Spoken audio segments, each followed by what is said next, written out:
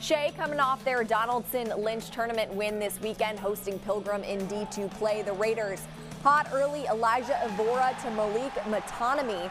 He throws it down, crowd goes crazy. The Patriots try to cool them down. Dominic Joseph Salido, the sweet drive to the basket, but Shea would stay perfect. Enrique Sosa, the drive and the foul. Sosa and Matanmi both finish with 14 points. The Raiders top the Patriots 71 to 51 the final.